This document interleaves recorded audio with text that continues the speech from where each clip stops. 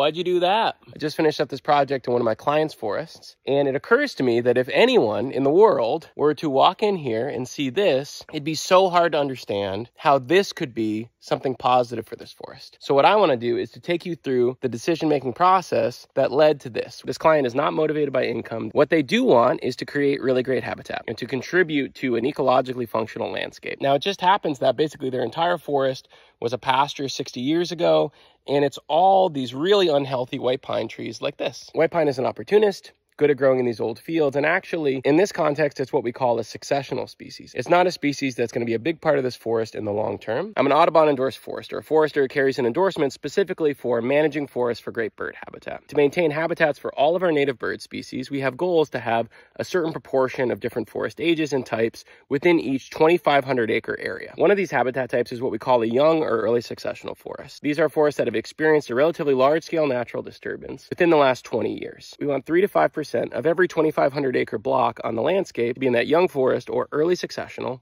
condition. And within the 2,500 acre area that this parcel's in, there's less than 1% of that early successional habitat. It happens that in this landowner's forest, most of it has these really wet, sensitive soils that would be basically impossible to access, except for there was this one 15 acre area that had dry soils. And I said, well, this could be a really good place to facilitate the creation of that early successional forest while also allowing these successional processes to happen on their own schedule elsewhere on the property. Even though this white pine was unhealthy, the white pine saw logs were still valuable. So suddenly this became not a project where a landowner would have to pay somebody to come in here and cut these trees and create these habitat, but this is a commercial project. We're actually selling wood, generating local renewable resources as a byproduct of this work. So I know that this looks scary and jarring and sad. For me, this is a success story.